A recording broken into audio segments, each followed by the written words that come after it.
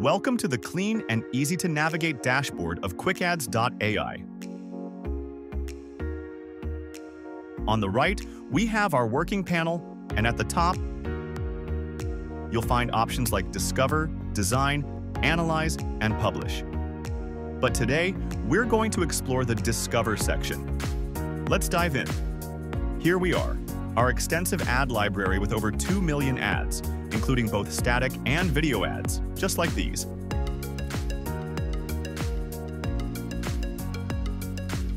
First, let's select a brand to explore. We'll go with Nike. Scrolling down, we can see the wide variety of ads by Nike now.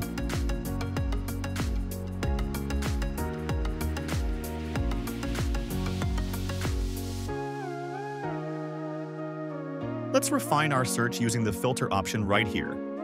At the top, we have the Ad Format button, where you can choose between static or video ads.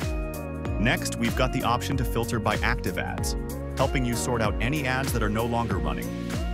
Here's the country filter. It's in beta right now, but it gives you the ability to filter ads by region. You can also filter by the theme or type of ad. Looking for platform-specific ads? We've got that too.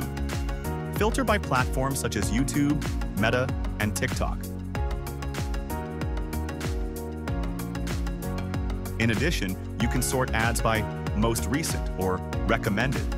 And there's a beta version of the user engagement sorting option. Lastly, we have the industry filter, helping you track trends across different industries and understand what's working. And that's a quick tour of our Discover section. With these powerful filters, you can find the exact ads you need, tailored to your preferences and insights. Start exploring today